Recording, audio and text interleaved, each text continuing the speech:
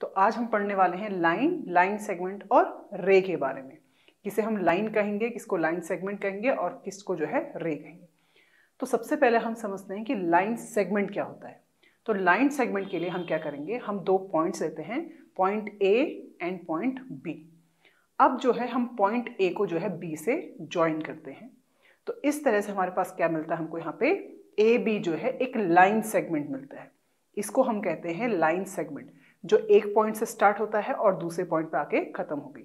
That is called line segment और इसको हम रिप्रेजेंट करते हैं ए बी बार से राइट इसे जो है, देखो, यहाँ पे एंड पॉइंट एक ए है और बी है, दो एंड पॉइंट्स हैं तो इसको हम ए बी बार या बी ए बार से भी इसको रिप्रेजेंट कर सकते हैं। अब नेक्स्ट हम आएँगे कि रे हम किसको कहेंगे?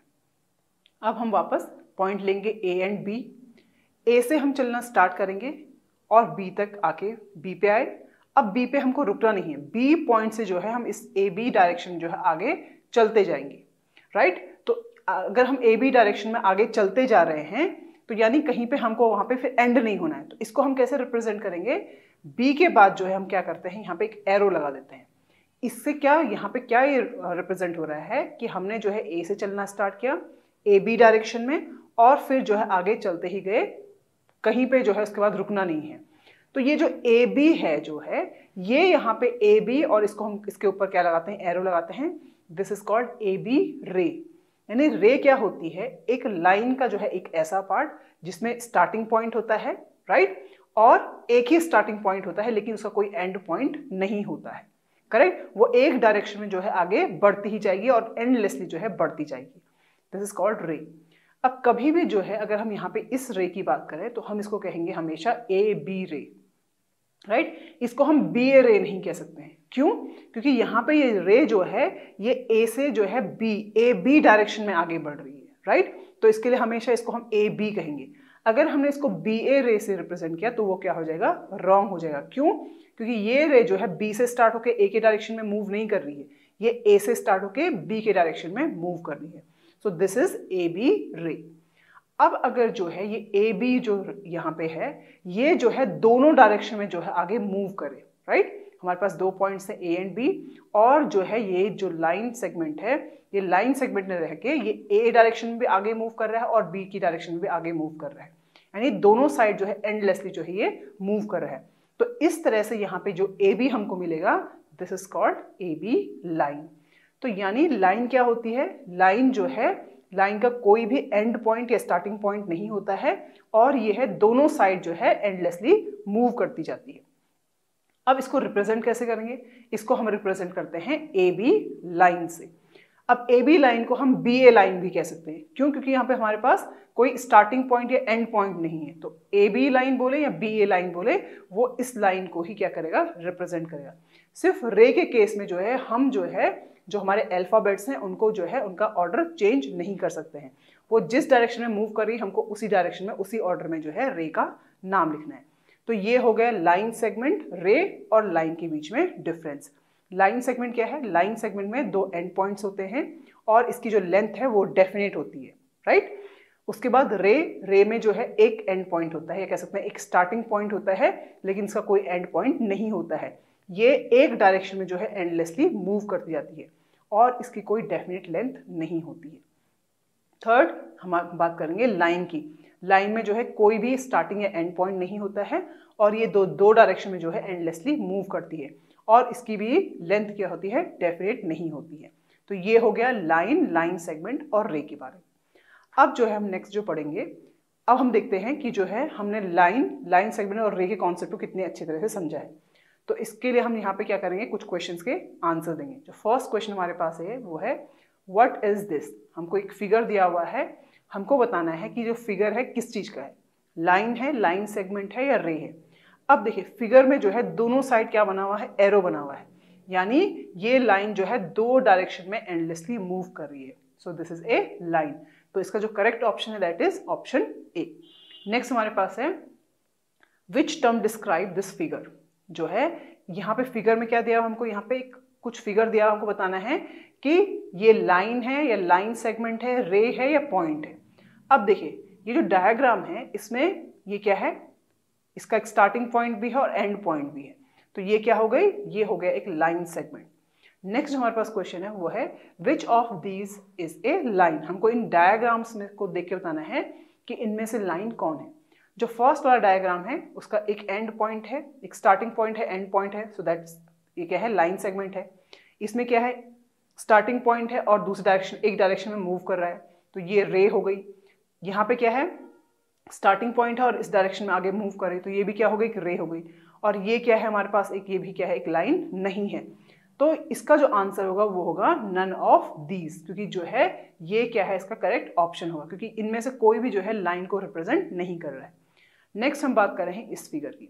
यहाँ पे जो है फिगर को देख के हमको बताना है, क्या है? Use a figure and write the name of ray यहाँ पे जितनी भी रे फॉर्म हो रही है, उनका नाम हमको बताना है राइट तो यहाँ पे देखिए नेक्स्ट जो है, हमको इस फिगर में देख के बताना है कि इसमें रे कौन सी है। अब देखिए, अगर हम ए बी की बात करें तो ए बी क्या है? दोनों साइड एरो है, ये क्या है? एक लाइन है। उसी तरह से ये यहाँ पे देखिए एफ़ के साथ में जो है, ये भी क्या है? एक लाइन है, क्योंकि दोनों साइड क्या है? एरो है।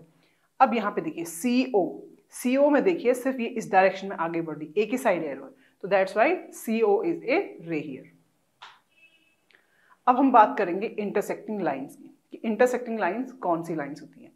अगर दो लाइन जो हैं, एक दूसरे को किसी पॉइंट पे कट करें तो उनको हम कहते हैं इंटरसेक्टिंग लाइन जैसे कि यहाँ पे है, हमारे पास A B and C D दो लाइंस हैं। ये दोनों की दोनों लाइंस एक दूसरे को क्या करती हैं? ओ पॉइंट पे इंटरसेक्ट कर रही हैं।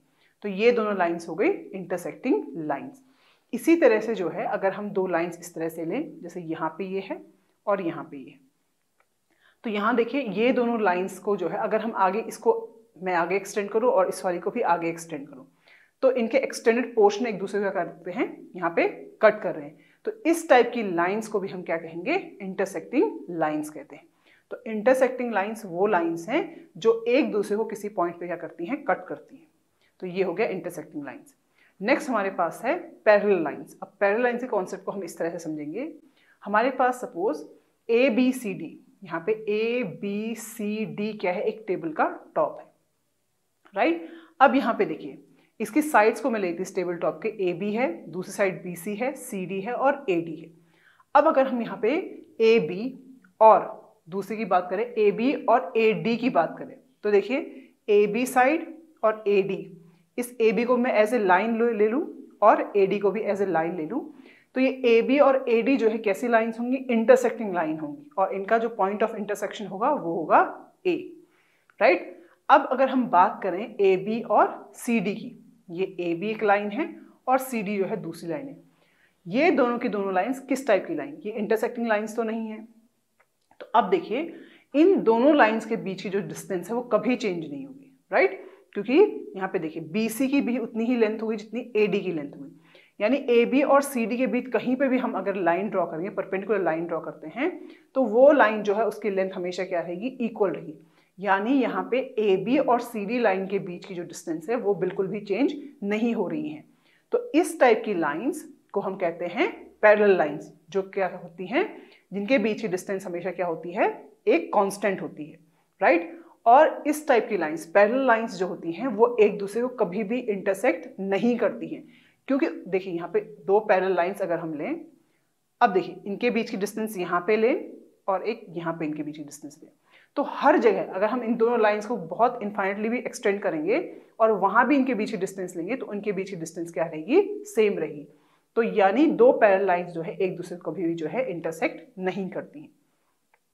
अब हम नेक्स्ट बात करेंगे इंटरसेक्टिंग लाइंस के बारे में राइट इंटरसेक्टिंग लाइन यानी दो लाइन जो है, जब एक दूसरे को क्या करती हैं कट करती हैं तो वो होती है इंटरसेक्टिंग लाइन अब इंटरसेक्टिंग लाइंस जो हैं, एक दूसरे के साथ में कुछ एंगल फॉर्म करती हैं राइट जैसे कि यहाँ पे आप देख सकते हैं, हमारे पास दो इंटरसेक्टिंग लाइन है तो यहाँ पे दोनों के बीच में कुछ एंगल फॉर्म हो रहा है राइट अगर दो इंटरसेक्टिंग लाइन इस तरह से फॉर्म हो रही हों कि उनके बीच का एंगल क्या हो 90 डिग्री हो, जैसा कि यहाँ पे हम देख सकते हैं सपोज़ एक लाइन हम इस तरह से लेंगे और एक लाइन को इस तरह से लेंगे।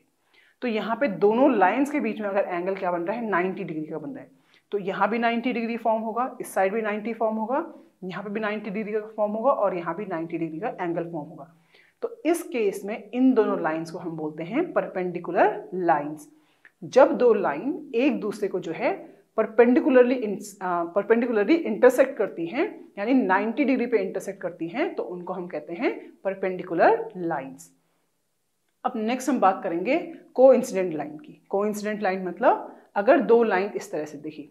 एक लाइन ये है और एग्जैक्टली exactly इसके ऊपर जो है दूसरी लाइन इस तरह से है राइट तो जब दो लाइन क्या होती हैं कॉन्साइड होती हैं तो उनको हम अब हम बात करेंगे को इंसिडेंट लाइन्स की. तो यहाँ पे देखिए एक लाइन इस तरह से है और उसके जस्ट ऊपर उसको दूसरी लाइन हमारे पास यहाँ पे तो इस टाइप की लाइंस को हम बोलते हैं को इंसिडेंट लाइन्स और अगर हम बात करें, एक लाइन हमने इस तरह से ली और उसके साथ में 90 डिग्री एंगल फॉर्म करते हुए एक लाइन इस तरह से ली तो ये क्या हो जाएगी? Perpendicular lines